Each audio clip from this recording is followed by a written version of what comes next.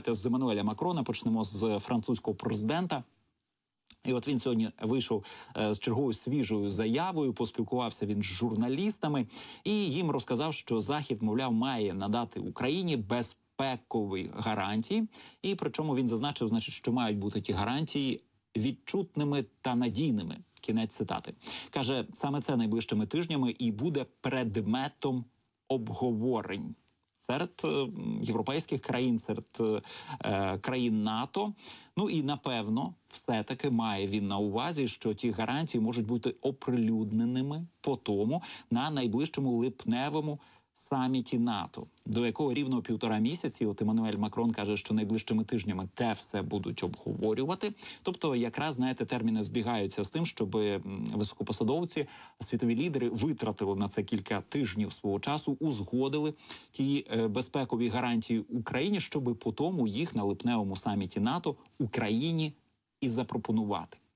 Я нагадаю, що на тому липневому саміті ми точно будемо просити певної конкретики, щоб нас на тому саміті воліли б ми з вами і Україна, щоб нас запросили в НАТО, щоб нам сказали там конкретно яких дат, е, коли ми можемо розраховувати, що ми станемо членом Північно-Атлантичного альянсу. Я нагадаю, чому нам цікаво стати членом НАТО. Нам цікаво потрапити під захист п'ятої статті статуту НАТО, е, за яким напад на одну країну означає автоматично напад на усі країни альянсу. І відповідно реакція тих країн альянсу має бути е, єдина. Вони всі мають зах стати на захист тієї країни, на яку скоєно було напад. От ми дуже розраховуємо потрапити під захист е, цієї статті, і у разі, якщо після нашої перемоги, після того як ми відкинемо путінську армію вторгнення з наших територій, е, він там витратить певний час. В нас є такі побоювання. У разі якщо він залишиться при владі, він витратить там по тому місяці і роки, щоб підготувати нову армію вторгнення. От е, такі в нас є побоювання, що він повторить свій цей от е, повномасштабний напад на Україну.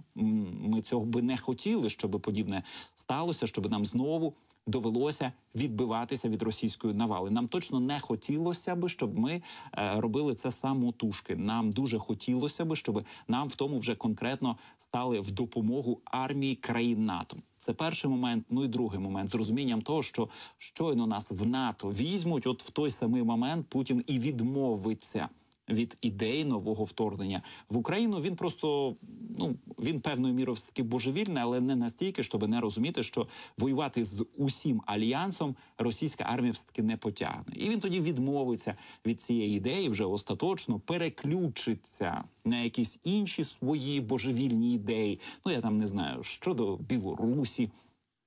Щодо Вірменії, і ще ще де там в нього є там в Африці інтереси на близькому сході і так далі, тому подібне, але відмовиться він е, тоді від того, щоб е, на Україну робити чергу, щоб на Україну піти черговою війною. Саме тому нам дуже хотілося би от почути вже на липневому саміті НАТО в Вільнюсі, що нас запрошують до альянсу, щоб нам там сказали конкретику, які кроки нам треба, е, які процедури нам треба пройти, які кроки зробити, щоб стати повноправним членом НАТО. Ми очікуємо того е, на цьому саміті, але на жаль, все таки світові змі пишуть світові змі, припускають що наші союзники там на тому саміті обмежаться лише тим, що запропонують нам. Як це сформульовано? Давайте згадаю, що вони запропонують нам розширений формат партнерства. Ну і що то за формат такий, е, з чого він складається, про що взагалі мова? Тут на тепер конкретки якоїсь немає. Єдине, що от світові змі і аналітики припускають, що в такий спосіб країни НАТО, мовляв, е, продемонструють нам по Україні політичну підтримку.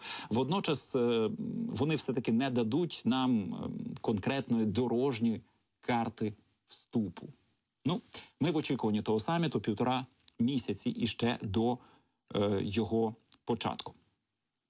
Україна вправі бити по території Російської Федерації для самооборони. Таку от офіційну заяву зробили в уряді Німеччини. Ну і це була відповідь на запитання журналістів Deutsche Welle, яке вони поставили після інформації про атаки дронами на Москву. І от німецький уряд відповів, що для самооборони Україна вправі бити по території Російської Федерації. Утім, в тому таки німецькому уряді додали, що, хоча за міжнародним правом Україна і вправі подібне робити, але ж офіційний Берлін все таки проти того, щоб в таких можливих ударах е, була використана саме німецька зброя.